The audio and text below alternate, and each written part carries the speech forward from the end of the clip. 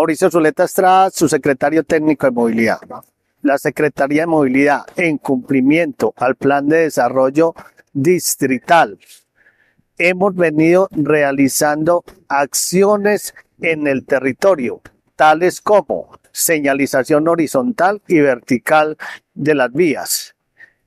Estas actividades se vienen realizando en cambios de sentido vial que ayudan a la movilidad tanto vehicular como peatonal para evitar el riesgo de incidentalidad. Invitamos a la comunidad a que haga buen uso de esta señalización horizontal y vertical.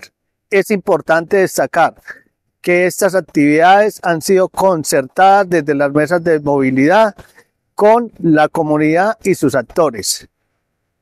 Música